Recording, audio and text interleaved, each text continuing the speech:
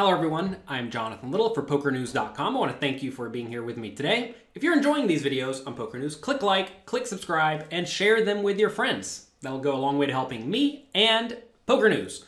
So over the next few weeks, I'm going to be reviewing a few hands that one of my students played in a WPT 500. This was played online, I believe. So we are um, playing against players who are somewhat unknown. Uh, World Poker Tour did a, or is currently doing a structure in a lot of their tournaments where you can play day one online if you feel like it, and then you get in the money, and then you go and play day two live. Party Poker is also doing the same thing, and I think it's a pretty cool idea. It's a great way to let people who may not otherwise travel somewhere to play, play online, get in the money, and then it's kind of worth it to get up and travel, right? So in this scenario, we are playing 100 big blinds deep, and everyone folds around to the small blind who raises to 2.7 big blinds. And I think right off the bat, this is a pretty big mistake by the opponent because you're giving the big blind excellent pot odds to call. Notice here that our hero has to put in 1.7 big blinds to win a pot that's going to go up to 6.4 big blinds, right? So we only need to realize 20 something percent equity. And from in position, you're going to realize 20 something percent equity with pretty much everything. Now, I do recognize that when you're playing against some opponents, they will just drastically overfold in the big blinds. So if you raise small blind, they're just going to fold all sorts of stuff like 9 6 offsuit or king 3 offsuit, thinking, oh, it's not a good hand, I guess I have to fold. But if your opponents are sticking around adequately, raising small out of position is just really not what you want to be doing. You'd much rather develop a very um, well, it depends on your opponent's strategy, but likely a polarized raising range with a very, very wide limping range. Because whenever you limp from the small blind, you're getting great odds, right? You're getting 4 to 1 pot odds immediately, and then if you get raised, you can still stick around with a lot of hands. So anyway, opponent raises. Um, if the opponent is going to raise here, I would much prefer a raise to like 4 big blinds or 3.5 big blinds. Anyway, he raises small. And now with ace-5 offsuit, our hero has a pretty easy call. Um, he could certainly 3-bet. I don't think it's insane to three bet the ace X offsuit type hands, essentially using the blocker as a bluff. But I typically just call in this scenario. When you're getting great odds, you don't really want to do anything to mess that up because if we do four bet or three bet, our opponent could four bet and then we have to fold. we don't really want to fold out the ace. So flop comes ace queen 10 and the opponent bets. This is a situation where we have a very, very easy call um, some people look at top pair in this scenario and think, oh, top pair, this is great. I probably have the best hand. And I want to make sure I don't get outdrawn by a random king or a random jack or a flush draw or a hand like queen six, right? But the problem with raising is that if we do raise, what is going to continue? Well, certainly all better hands are going to continue, right? Any any ace is going to call, which we lose to most of those. Um, two pair straights sets are obviously going to call. If the opponent does happen to have a worse hand, like a queen, it's usually going to be a queen with a gut shot that has plenty of equity. Same thing with a 10, right? And if our opponent has a flush draw, they're not going to fold to a raise as well. So raising doesn't really make any of the decently strong hands fold. But what it does make fold are hands that are in pretty bad shape, like 8-7 of diamonds, right? If your opponent has 8-7 of diamonds, you really want to keep them in the pot because they're drawing very near dead.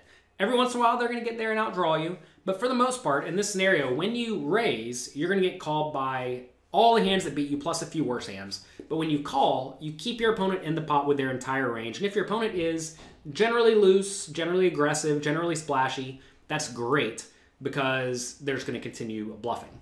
Also, whenever you do happen to be against a better hand, like, well, two pair or top pair with a better kicker, you don't really want to make the pot bigger because now we are drawing thin. And this comes up very frequently where you're either way ahead or way behind the opponent for the most part. And in that scenario, you typically just want to call. All right, turns the seven of clubs and the opponent checks. And now, this is an interesting scenario where I do think betting is fine. And the reason I think betting is fine is because now if we can make any hand with a club fold, that's a fine result, right? Because the club's going to get there about 20-ish percent of the time.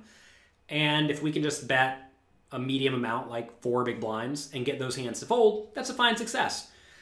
We do have to be careful in this scenario, though, that, uh, because we don't want to bet too big to the point that when we do get called, we're against almost entirely better made hands.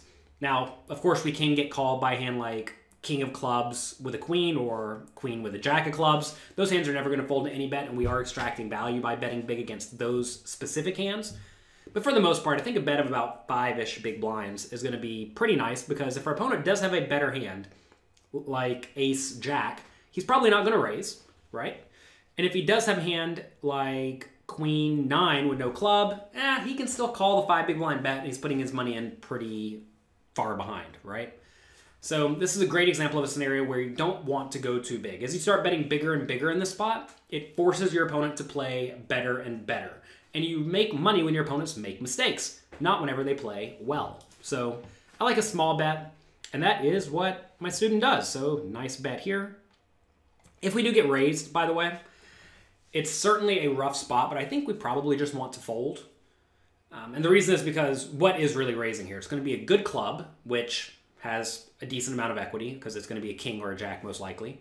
And then we're going to be getting raised by flushes, right? And against flushes, we are drawing dead. So we're either dead or we're ahead, but we have to fade a lot of outs. And in that instance, we just want to get out of the way.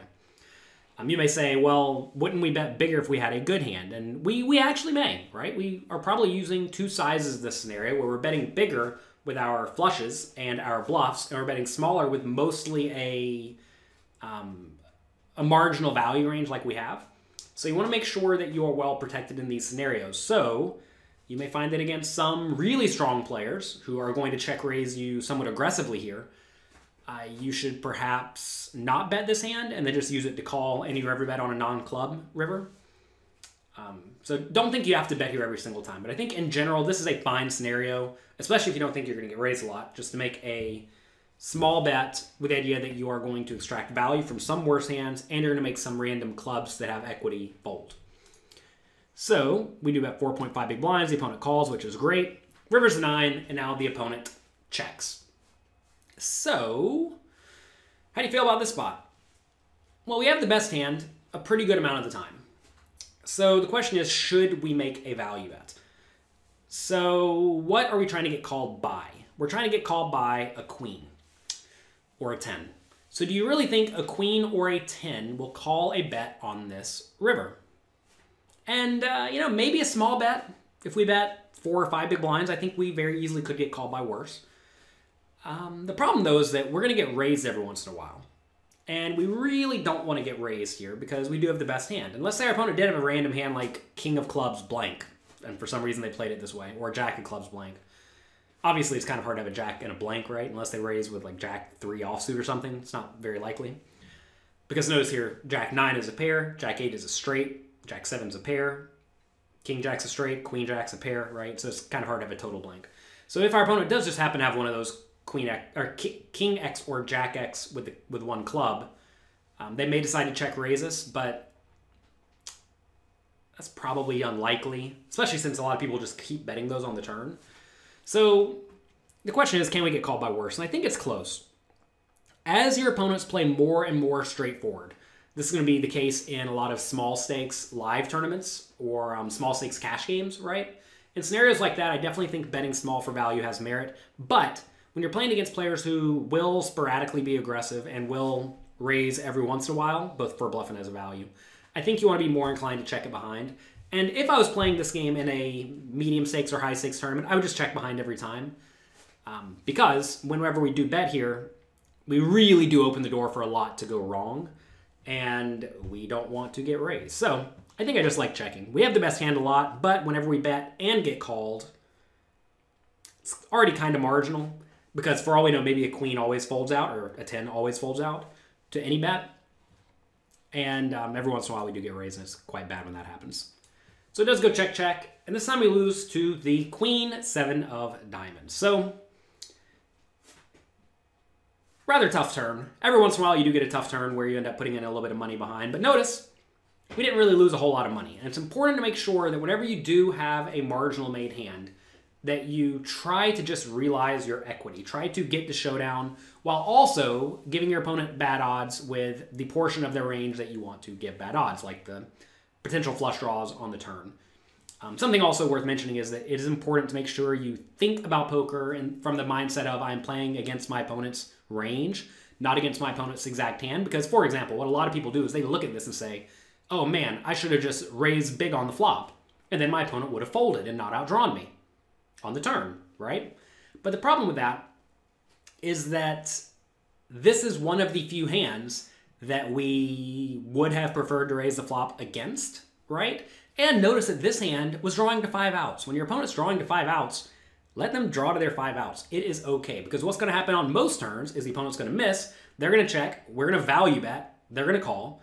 And then on slightly less bad rivers that don't make random hands like Queen 9 come in or 10 9 come in, we're going to be able to get a small value bet in against these hands as well. So don't be results oriented in thinking that, oh, we lost, so we must have done something wrong. And also in the mindset of, what could I have done against this specific hand? Because remember, your opponent does not have this one specific hand, they have their range. And you want to make sure you are playing your hand and your range as well as you can against your opponent's range. So that's to be it for today. Hope you enjoyed this video for Poker News. Let them know on Twitter at Poker News. And if you want more from me, check out my YouTube channel. I have a ton of comments, a ton of comments. I do have a ton of con- comments. I also have a ton of content over at youtube.com slash poker coaching. So check that out. Leave comments, like it, subscribe, and I'll talk to you next time.